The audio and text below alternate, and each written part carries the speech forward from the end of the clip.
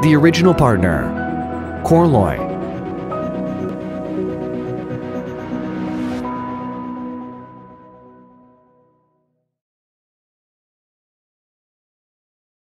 Medium and rough stainless steel turning machining environments, the lifespan compared to the conventional insert production stability were increased in the NC9100 series.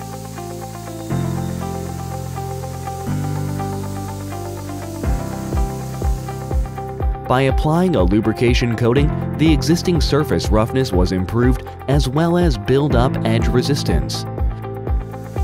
It was optimized to the machining speed, feed, and interruption level. And heat resistance was improved by applying a new alumina layer and coating a film with improved chipping resistance.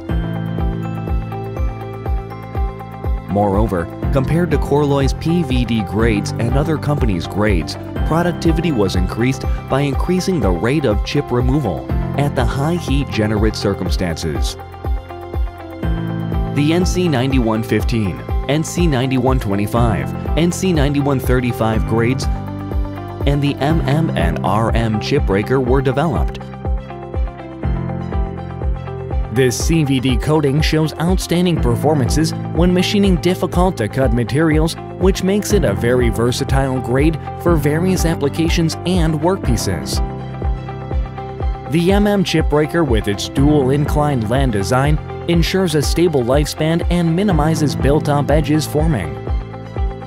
Moreover, it provides a wide chip pocket in order to prevent plastic deformation and excessive wearing of minor cutting edges.